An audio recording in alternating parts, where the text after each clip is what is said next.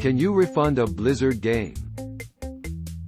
Blizzard Blizzard doesn't have a published refund policy for its online store, but you can try contacting customer support if you want a refund. Refund game purchase is one of the options you can select on Blizzard's support site.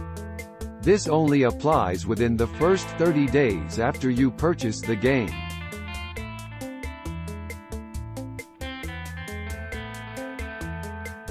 Thanks for watching. Please subscribe.